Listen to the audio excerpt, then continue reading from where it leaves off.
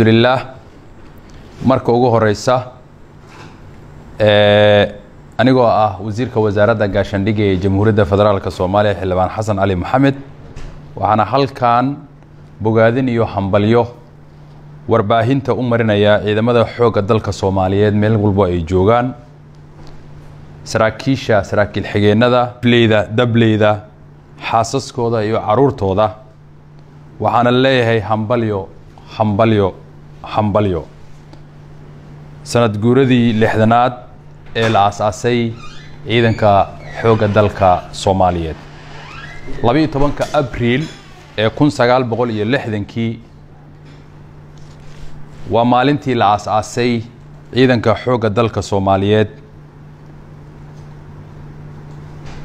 ee jamhuuriyadda federaalka soomaaliyeed. Maalintan oo kale waxay noogu aadan tahay maalin aad iyo aada u qiimo badan waa maalintii dhidhibada loo aasay ee ciidanka xoogga dalka soomaaliyeed.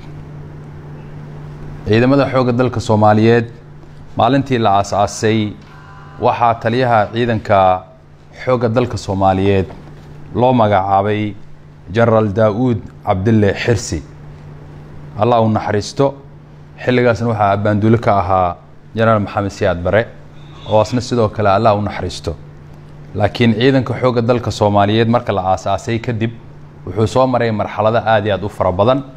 Ee runtii wakti dhow wakti gaaban ayuu wuxuu gaaray meel sare.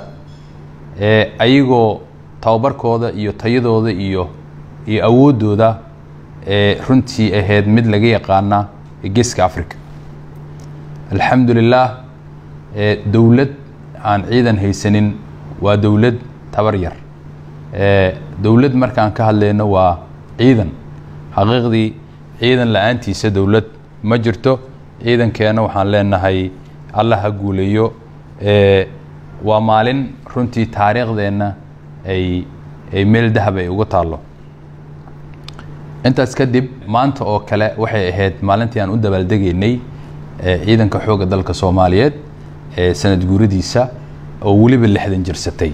Laakiin marxaladaha jira oo runtii iyo talooyinkii aragtooyinka ay soo jeediyeen madaxweynaha jamhuuriyadda federaalk soomaaliyeed oo ah taliyaha guud ee ciidamada qalabka sida ee jamhuuriyadda federaalk soomaaliyeed ee soo jeedintiisa iyo marxaladaha dhibaatada cudurka safmareynta ee coronavirus dartiisa ayaa maanta waxaan go'aansanay inaan hambalyada ciidanka xoogga dalka soomaaliyeed aan la wadaagno annagoo u marinayno warbaahinta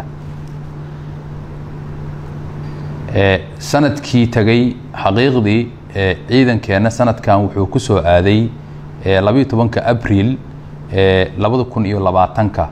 Wuxuu ku soo aaday asigoo tayadiisa iyo tiradiisa iyo tababarkiisaba ay aada u sarayso.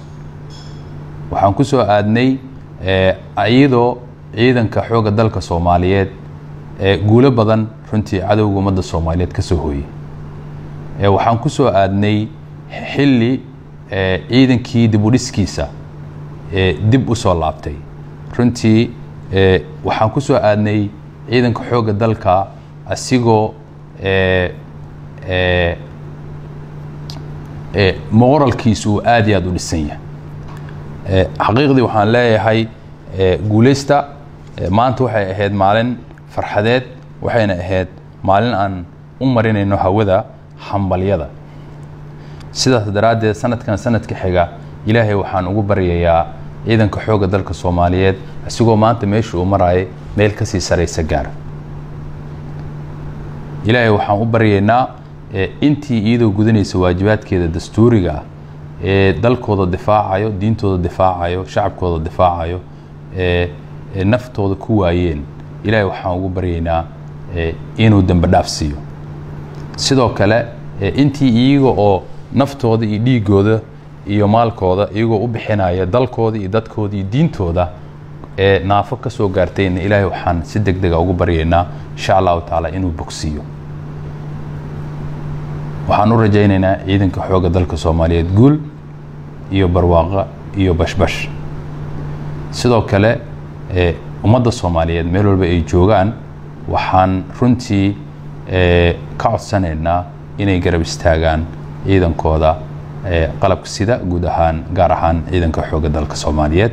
Aad iyo aad ayaad u mahadsantihiin